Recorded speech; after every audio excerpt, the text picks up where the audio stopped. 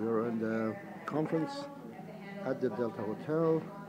People are keep coming in. Great, great day.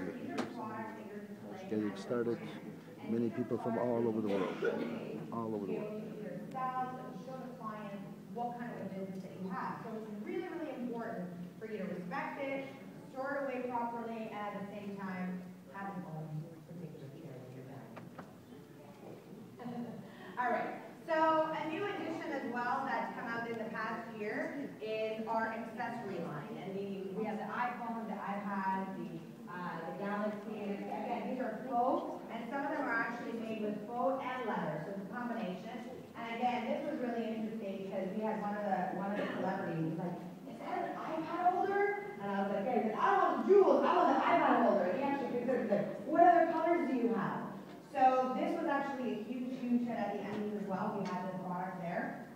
Um, and again, it's been a huge success. And there's a lot more designs that I'm going to be releasing for this collection.